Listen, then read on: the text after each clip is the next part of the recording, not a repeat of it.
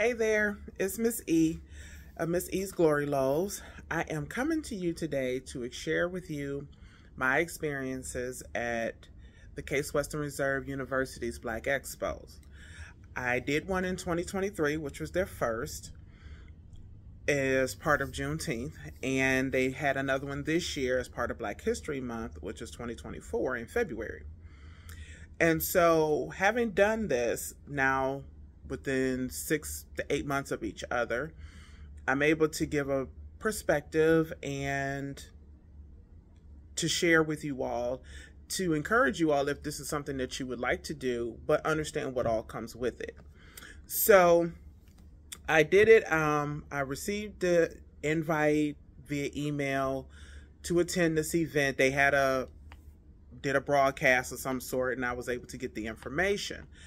And so I responded. And one of the things now, when they did it in 2023, they said it was a free event for people to come. All you had to do was register. Now, they did make it a point to where if you could not attend, that you were to let them know because they had a long waiting list of people who wanted to come. So if something comes up, you have the opportunity to opt out without any penalty and someone else who need the opportunity could come. So again, this was a free thing. It was first come, first served. They provided the tables. You just need to provide your tablecloth and of course be able to set up your product for the event. And also they were providing a workshop that you would have to attend and this would be a business connected workshop where they would give information to you on basically how to do better business and things of that sort and then the sale of your product and everything would come after this, which was about four o'clock. So, no, I think last year it was more so around maybe three o'clock because it was still around lunchtime and everything. So they provided lunch, they provided breakfast in 2023.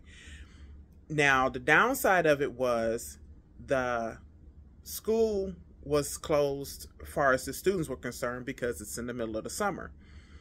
But they had the staff and they were supposed to acquire the patronage of the other surrounding businesses like the hospital and other local establishments that were around they would feel free to come in and partake and shop with the with our fellow vendors now what ended up happening was because of this being free unfortunately, some people took advantage of it and they didn't even show up. People registered, didn't show up, and so there were empty tables. Now, they provided us tent cards that had our business name on them as part of this event. So that means that for all the tables that were supposed to been accounted for, they were not, they were empty. So you had a lot of empty tables of people who did not show up. And that was unfortunate because each email that came out from Case Western stated if you cannot attend, please let us know because there's a long waiting list of people who want to attend. And people still didn't do anything. So now your business name and is sitting there with no representation at all no setup, no people, which is a bad look for you and your business. And it also is a mark against you as far as any future events going forward because why would they want to work with you if you can't even keep your word or follow the instructions that you couldn't make it and let them know and giving another person who would really benefit from the opportunity not being able to come and partake. So that was, and this is kind of a selfish thing so so both people missed out on opportunities. Both the people who didn't show up and the people who could have attended had they been able to be given the opportunity. Um, it did start real early. I think we had to be there around like somewhere between 8 9 o'clock. Um, parking was on our own which they also allowed you to park in the parking garage which ended up being um, i think either 10 or 11 dollars for the day. And when you consider how long you're going to be there for the day for me it made sense you can go in there you don't have to worry about feeding the meter or anything like that. You could just park and be done. Because again they're giving you the opportunity to sell your product so you'll be able to make the $10 back. They were feeding you both lunch and breakfast so you didn't have to worry about eating and you could purchase from other vendors while you were there as well. Um, And overall, everything was supportive. They brought in an outside speaker who was fabulous. She was one of the most interactive speakers that I have sat in a presentation with. She had the group really participate. She had us do this exercise that kind of got us up and making sure that we were awake and moving a little bit and it was very interactive. She had us using our phones to Google stuff because she was giving us information and she didn't want us to just take her word for it. She wanted for us to actually look at the information up for ourselves. And so that was great. And then, of course, they had a couple of other speakers from Case Western to speak to not only why the event was happening, but um, working with the procurement department, um, which is about doing their marketing and everything, and and working with as a vendor what would be involved if you were to try to work with them or any other procurement department at a bigger location, facility, organization. Just telling us what to, the do's and don'ts and things that you should be aware of because a lot of people just don't know what's all involved. They think you can just go to one person and things will happen when in fact there are actually tiers and different levels of people who you have to go through and work with. So you had that. And which was all great. They gave you information, what to do, how to do, where to go find the information, which was great.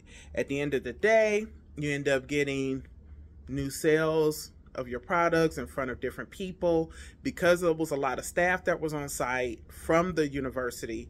A lot of them were coming around and taking information and stuff so they could consider you as a vendor for when they have different events going forward which is great. That's a great opportunity for marketing, advertising, interact, talk with a lot of people, which was great.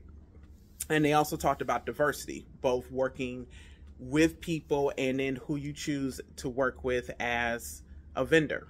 You know, when you go to the store, those kind of things. Different things to take note of and be mindful of as a shopper when it comes to diversity, minorities, working with different businesses, those kind of things, which was great. Things to think about that you probably wouldn't normally do unless you're in that area. 2024 was a slightly different experience, which I can understand why. Um, this time, they decided to charge everyone a $25 fee to attend. That would hold your spot. That would give you, as they would call, skin in the game, so that you would be more prompt to attend and not just throw away money, at least we hope. And this time I said it was during Black History Month. So that made it good. And now all the students are on site this time as well. So they're free to come in and partake and shop when it's time, which that time was 4.30. Now, compared to 2023, this event started later in the day. It started closer to noon and then we had they provided us lunch which also happened to be from a local small business who had recently acquired because he had acquired his MBE minority business enterprise certification he was able to provide the lunch that we partook for the event. And this time they had um, again some case western reserve faculty to speak on their procurement, their processing, um, how they choose vendors and things of that sort. And this time they brought in some local business or organizations to speak with us to help us directly with our business. So they brought in the Urban League of Greater Cleveland and the President's Council, and they explain what they do, how they do, and why they do it. And here it is they provide a lot of free services for entrepreneurs to help them to be better in business, especially in reference to the minority business enterprise certification. They actually help walk you through the process so that you can get certified. And along with the women's business, and um, I think it's Edge is the other one. So you get these certifications, they help you get through it, which is great. Now, as a result of them charging $25, this was covering the parking. So you got a parking pass so you can get out and it also was supposed to, you know, covered as the um, the meal. So you got your meal and your parking, which again was fine. Now keep in mind, most of this stuff was funded by the university, so for them, this isn't necessarily a financially beneficial event that they put on, but it's to give back and to put in because they have funding for it. So they go to give it to us. So the whole ideal is to make sure that we as business owners, entrepreneurs, however you want to classify yourself, the opportunity to really get another leg up. And they answered a lot of questions that people tend to have as far as the availability for these other organizations. Like, how can I work with you if I'm working during the day? And that's usually when the classes are and things of that sort. Well, they have hours that they work around and they have a by appointment so that you can do. So they help to minimize your excuses for not being able to get things done. So if you really want to get done and get these certifications, get better business opportunities and things of that sort, you're being encouraged on more than one level to get in and do such. So I feel like it was a great opportunity. Um, but just like with any other event, I still say make sure that this is the type of event that would truly benefit you and your business. Yes, the information can definitely benefit you, but now if not whether or not your business would profit from being set up at the university is questionable. Because just like anything else, you have to know if this is your target market. You know, so you do your research to know, okay, are students going to be buying this or you gear more towards the staff? You know, are they all going to be there and participate? Or are they going to be willing to spend the money? You know, are you interacting? Because all the same rules still apply as any other vending event. This is just a different setup, a different venue, but everything else is still the same. So, I had a lot of repeat customers because they remembered me. And then I still got more new ones because they didn't know before or because it's a different time and they did different marketing techniques this time to gather other people. So either way, it was still a win-win.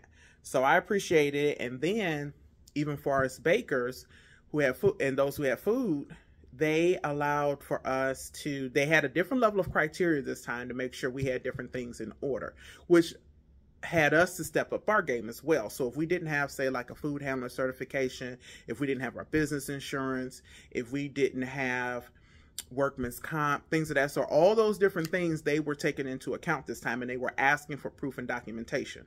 So if you don't have these things in order, this was an opportunity for you to step your game up.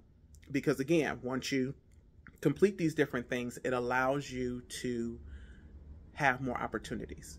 So even if it's not with them, it can allow you for other things from other places. Now, one of the things that Case Western wanted versus something that I had in particular was having a brick and mortar. For them, you either need a brick and mortar or you work out of a different certified kitchen, not necessarily out of your home, but say like a church or something like that. Which I get and for if I if this was the only thing that I did, which it's not, but I could see how that would be beneficial and I could take the opportunity to do so. But that's not my primary thing that I'm interested in doing at this time because of the other things that I do and have in mind to do.